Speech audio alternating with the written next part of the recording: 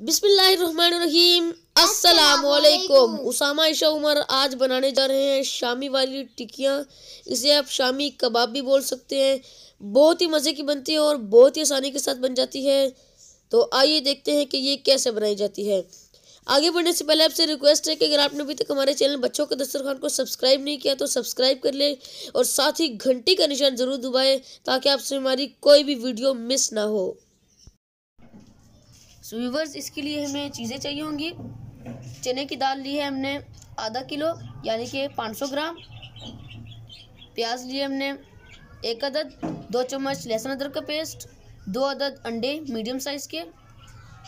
Boneless chicken हम लोगों ने लिया है, आधा किलो।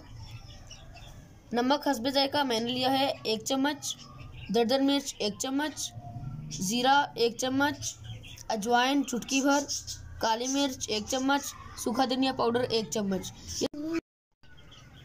सो व्यूवर्स देगची में डालेंगे हम लोग ढाई कप पानी। बिस्मिल्लाहिर्रहमानिर्रहीम। चने की दाल ऐड कर देंगे। चिकन, बिस्मिल्लाहिर्रहमानिर्रहीम। ऐड कर देंगे।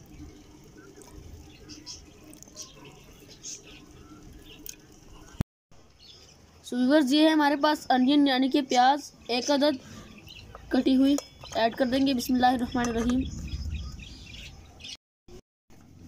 बिस्मिल्लाहिर्रहमानिर्रहीम, लहसुन, अदरक का पेस्ट। सारे मसाले ऐड कर देंगे। नमक, दरदर मिर्च, ज़ीरा पाउडर, अजवाइन चुटकी भर, काली मिर्च और सूखा धनिया पाउडर। इनकी मकदार मैंने आपको बता दी है। तो अब ये ऐड कर देंगे। बिस्मिल्लाहिर्रहमानिर्रहीम। बिस्मिल्लाहिर्रहमानिर्रहीम। व्यूवर्स अच्छे तरीके से मिक्स कर लेंगे। और अब हम इसे मीडियम फ्लेम पर यानी कि दरमियानी आँच पर 30 मिनट तक पकने देंगे और छेड़ेंगे नहीं। सो so, गलने के बाद हम लोगों ने बाहर निकाल लिया था और अब ग्राइंड कर लिया अच्छे तरीके से तो अब अगले प्रोसेस की तरफ़ बढ़ते हैं। सो so, अब हम इसके अंदर ऐड करेंगे एक चौथाई चम्मच रेड चिली पाउडर यानी कि लाल मिर्च पाउडर बिस्मिल्लाहिर्रहमानिर्रहीम। ऐड कर देंगे। और इसके बाद हम लोग इसके अंदर ऐड करेंगे पिसा हुआ ज़ीरा। सोवर्स ये मैं सिर्फ़ चार कबाब के लिए रेडी कर रहा हूँ तो ये मैं ज़रा स्पाइसी रख रहा हूँ। आप चाहे तो लाल मिर्च ना भी डालें तो इसके अंदर मैंने डाला है एक चौथाई चम्मच लाल मिर्च और आधा चम्मच गरम मसाला पाउडर। सो अब हम इसको टिक्कियों की शेप देंगे। मिक्स कर लिया अच्छे तरीके से। ये आप ज़रूर बनाइएगा, आप इसको फ्रिज में सेव कर सकते हैं और तकरीबन छः से सात दिनों तक आराम से यूज़ कर सकते हैं। आप बस निकालें और एग में डाल के फ्राई करें। आप इंशाल्लाह ज़रूर लुत्फ़अंदोज़ होंगे और ख़ास तौर पर ब्रेकफास्ट या डिनर में तो बहुत ही ज़्यादा मज़ा आता है। आप इंशाल्लाह ज़रूर लुत्फ़अंदोज़ होंगे। बिसमीम हाथ अच्छे तरीके से धो लिए हैं तो अब इसको शेप देंगे हम लोग। सो जिस तरह की शेप हम लोगों ने दे दी है। आप देख सकते हैं, इस तरह की शेप हम लोगों ने दे दी है तो अब अगले प्रोसेस की तरफ़ बढ़ते हैं। व्यूवर्स मीडियम फ्लेम पर हम लोगों ने ऑयल गरम कर लिया है तो अब ये टिकिया अंडे में अच्छे तरीके से मिक्स करेंगे और सो व्यूवर्स अंडे में डिप करने के बाद फ्राई कर लेंगे। बिस्मिल्लाहिर्रहमानिर्रहीम। और आँच जो है मीडियम होनी चाहिए।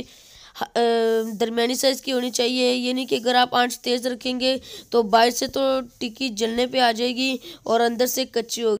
सो व्यूवर्स दोनों तरफ़ से हम लोग एक ही तरह का कलर लेके आएँगे। पहले एक साइड से इस तरह फ्राई करेंगे और फिर पलट लेंगे टिक्की को। ये देखिए, माशाल्लाह, कितना ही ज़बरदस्त रंग आया है टिक्की का। तो इस तरह ही हम लोग अब दूसरे साइड से भी फ्राई कर लेंगे।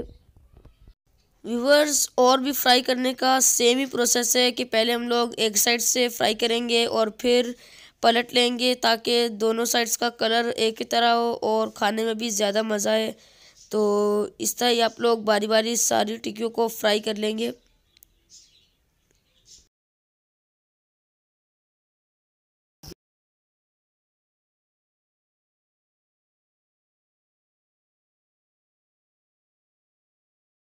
माशाल्लाह कितनी ज़बरदस्त तैयार हुई है, देखने में ही पता लग गया है। आप इसको पराठा या रोटी वगैरह के साथ भी सर्व कर सकते हैं और आप केचप के साथ वैसे भी खा सकते हैं, बहुत मज़ा आएगा। तो मिलते हैं नेक्स्ट वीडियो में, तब तक के लिए दीजिए इजाज़त।